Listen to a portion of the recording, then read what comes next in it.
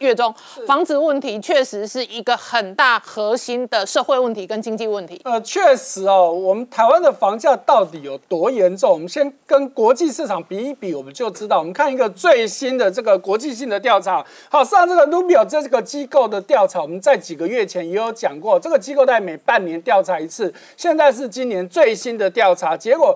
台湾的这个房，你要买房子跟你的所得去比较的这个数字呢？诶，台湾在今年的排名是全世界第九，那数字二十三点六三，它的意思是说，你要不吃不喝二十三点六三年，你才可以买得起房子哦。好，可是我们排第九，在我们前面的八个国家地区呢，除了香港是排第二，是一个比更比我们更先进的市场之外，其他的像第一名的叙利亚，哈，第三名。的哥伦比亚第四名的斯里兰卡等等都是很落后的国家，所以他们的房价所得比非常的高。那这个报道，我们如果再退，我们在我们讲过几个月前，我们讲过去年好，去年年中的时候，台湾那时候是排第八名，这是第九名，看起来好像很弯位啊，退步了一名。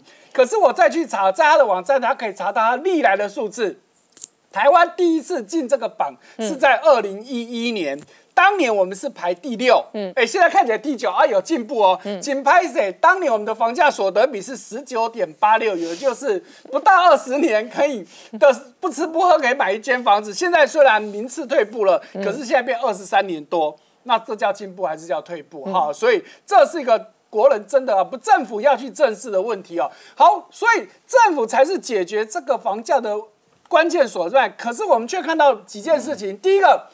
居然这个最主要在放款的这些公银行库放款金额还在创新高，哎，这就有问题了。如果你政府今天你真的要打房，为什么你房贷，尤其你这排名在前面的，包含从台湾银行、土地银行、河库等等这五大公银行库，你的放款金额居然是上一波啊，五年前房税合一第一波开始的时候，五年来的放款最高金额，尤其光一个去年十二月。比十一月放款居然多了一百零三亿，嗯，你放款这么，我不敢说它腐烂了哈。如果就说你放款比较松的情况之下，大家当然买房越容易嘛。那买房容易，当然房价自然就就下不来嘛。这是一个很大的问题。好，那放放款也就算了。我看到更离谱的一个新闻是，居然有高银行库跟某个代销机构，嗯，办联名卡哦。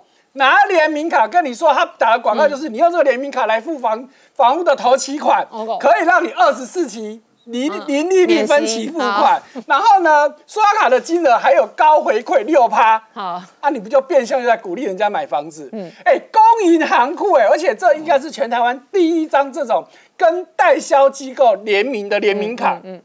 哎，拜托之类，你这么做，你怎么让人家相信说你政府你在打房？那如果在线说到，我们如果从城市来看，那台北市真的是最严重的哈。我们都知道台北市人口外移很严重，好，那少子化很严重，大家也都知道。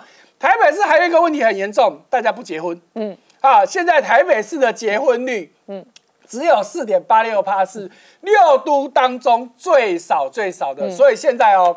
而且我觉得蛋黄区都老人。啊，真的是啊，蛋黄区蛋黄区看到五六十岁都算年轻了，蛋黄区真的很容易看到八九十岁哦，在这一个 呃公园呐，然后做早操啊。就不要说蛋黄区了，你在台北市看到年轻人，基本上大概都不是住台北市，他只是在台北市工作，他可能在住新北市，甚至住到更远更远的基隆、桃园等等。所以这就是一个很大的问题嘛？为什么？不用说，大家也知道嘛，就是房价太贵，买不起嘛。嗯，所以这些问题政府难道不知道吗？嗯，当然知道嘛。那问题你有没有心解决？至少在我看来，真的是还有很大的努力空间。就美中很有可能在阿拉斯加外交破冰，同时呢，拜登哦端出新的一个纾困牛肉这个方案，一点九兆美元哦，礼拜五直接上路哦。那所以呢，这个道琼再创历史新高。事实上，在美股科技股全面反弹之下，哦台股重回一万六。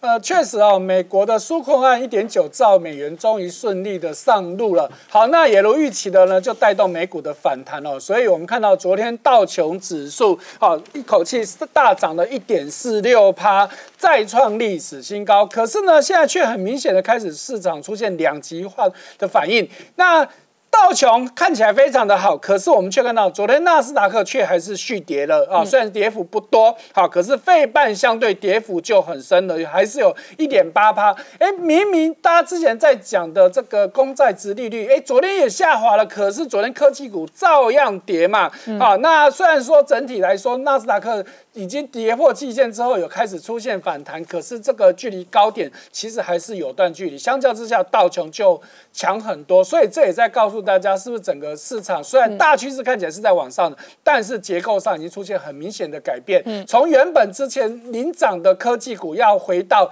道琼为主的这些船产公司，呃。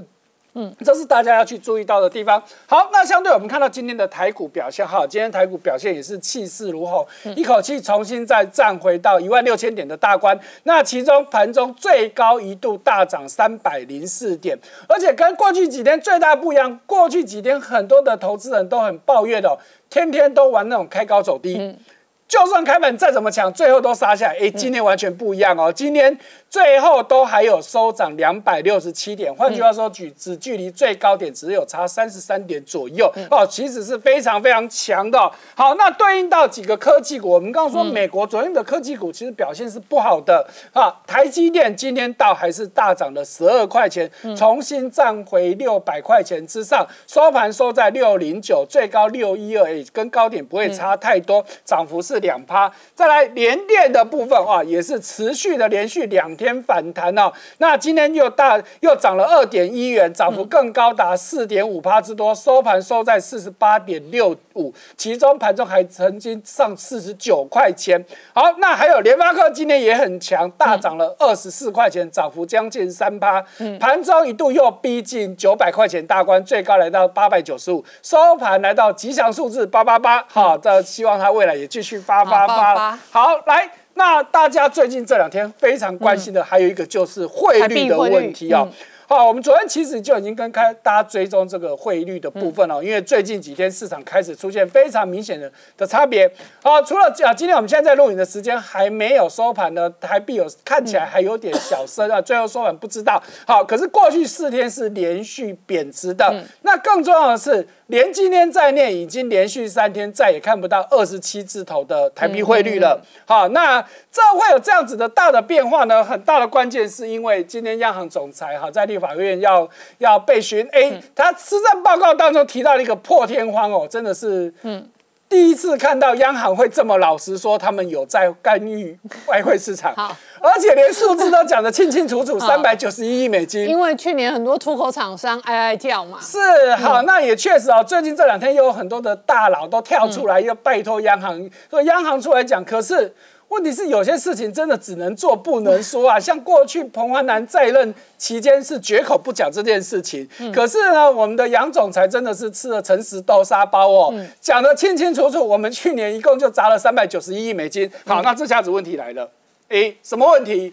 我们在去年我们都知道已经被美国列为汇率操纵国的观察名单，嗯啊，那最主要是因为美国财政部列出三个指标，哈，那我们是符合其中两项，所以被列为观察国。那现在问题就是第三项，哈，我们这边手板里面提到的，就是如果你干预汇率的金额超过你 GDP 的百分之二以上，那就是符合第三点哦。好，那所以根据这个央行自己说的三百九十一，我去推算了一下，那就是台湾去年 GDP 的五趴多了哦。哇，糟糕，挤满三点了。好，所以现在大家就在担心，会不会这一次，因为美国的汇率操纵国观察名单是每半年检讨一次，嗯，所以有可能啊，通常正常应该在四月份会公布，嗯，有可能会不会就这次被列为正式的操纵国？嗯，好，大家想说那有什么差别呢？我跟你讲，问题就大了，列为操操纵国就会被美国实施制裁，嗯，会有哪些制裁？最基本的，美国政府标案你都一律不准标，嗯。这个影响是非常非常大的，好，那其他的我们就不去讲了。所以呢，央央行总裁其实有在说明哦，他们还是在跟美国沟通当中。那到底会不会被列为这个美汇汇率操纵国？我们就再持续往下看。来，再来，台积电公布二月份的营收报告，哈，那二月份单月营收一千零六十五亿，年增是十四帕，哇，还是很亮眼哦。而且一二月合并计算更更年增的十八帕多，剩呃，大家想。一二、一月、二月都已经是淡季了，因为科技业去年第四季是旺季嘛，结果居然还可以持续这样子的成长，甚至第一季虽然还没有结束，预计第一季都还可以季增，听清楚哦，是季增不是年增哦。季增预估还有零点一六帕到二点五帕，哎，跟去年第四季比，你科技还能够季增的，真的是少之又少哦，哈。那代表台积电这一波市场的需求真的是非常强劲。好，很知名的这个市调机构 TrendForce 的预估，今年第一季全世界的半导体代工大概会成长二十帕，但是台积电会有成长二十五帕。嗯，那台积电的市占率将在全世界将占到百分之五十六，那三星预估是十八趴，联电是八趴，好，那台积电为什么这么厉害？哎，昨天经济部的智慧财产局公布了一个数字哦，哇，一看就知道为什么台积电这么厉害。怎么说呢？因为台积电连续五年都是台湾申请专利最多的法人。好。申请的案呃这个案件高达一千零九十六件，嗯，遥遥领先第二名的宏基，宏基是只有五百二十三件，而且这个申请专利还分三种，台积电全部都是发明类，哦，厉害哇，这这非常厉害，因为所谓的专利会有发明、新型跟设计三大类，台积电全部都是发明，嗯，表示他在创新这一块是非常努力在做，嗯，好，那外国法人在台湾申请到专利最多的。则是高通是七百二十件哦，提供大家参考。好，再来，联发科也公布二月的营收，哇，金价起就厉害，年增七十八趴多，哇，吓死人了哈！联发科哎，已经到这种程度了，而且二月过年呢，对对，没有错，日比较短呢，所以真的哎，真的他们显然应该没有过年呐，好，合理推估，真的还能够有放假，还有这样子，那就真的吓死人了哈！所以大家可以注意到，好，所以呢，整个。第一季呢，预估原本预估可能大概持平，现在预估起来大概会有六到十四趴的一样哦，呃，会季增。好，可是我在他的资料里面看到一个比较特别的是，他有排除的他一个子公司叫毅力科技。哎，我去查一下，因为呢，他在去年把这家公司给卖掉，他是做驱动 IC 的。那他为什么要卖？哎，其实没有公司不好，过去三年这家公司每年都赚钱，而且每一年都可以赚赚最后净利一亿以上。结果他居然用三千六百万就把它卖。卖掉了，嗯，怎么想也不合理嘛，哎，结果联发科有出来说明哦，说因为这家公司它所处的这个驱动 IC 是红海太竞争了，嗯，那再来就是毛利太低，他说我们基本上四十趴以下毛利的公司我们基本上都不要，所以他就把它处分掉了，哈，而且他卖给卖的对象是台湾本土的私募基金，而不是卖给外国人，所以大家不用担心了。来，再来。合硕的问题就比较大了。哈，我们过去讲了一堆，大家营收都在创新高，结果合硕居然是创八年新低，嗯，哇，这个问题真的很大。好，二月营收月减高达三十四帕多，年减也是三十四帕多。那当然，他说他有农这个农历年的影响，再加上缺料，嗯，最重要的是 iPhone 十二的 mini 卖的不好，因为是由他所代工的，好。那而且啊，我们再检视其他的电子五哥哈，包含的广达、人保、伟创、英业达，人家都在创新高，结果他在创新低，显然合硕自己的问题可能会比较大。再来，也有一个很重磅的新闻，传言很久了，但是这次是正式被证明了，就是苹果真的要在。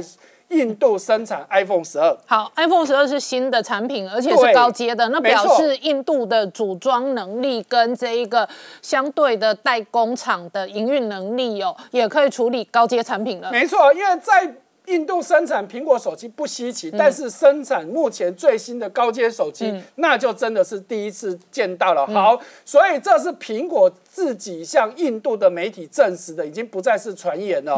更重要的是，谁做呢？哎，不用猜也知道，当然就是红海嘛。哈，虽然红海没有自己出来讲哦，可是印度当地的媒体都已经讲得很清楚。所以红海在印度帮苹果出 iPhone 十二，这个只能做不能说。对，央行在那边护盘台币一样，一样的道理。所以红海自己不敢讲，但是当地的媒体。而且连苹果自己都出来讲了，可是我想红海当然还是比较担心，怕得罪中国的部分呢，哈，因为在新闻里面有提到说，因为苹果准备要更大幅度的把它在中国的这些制造 iPhone，尤其是 iPhone 十二的部分移到印度去，所以当然红海当然就得配合的去做。好，另外一方面，红海不是在加码印度而已，还有越南的部分，它也在加码投资哦。在过去，它已经在越南投资了十五亿美金。好，这一次呢，哎，也是越南当地的媒体出来讲，而且是。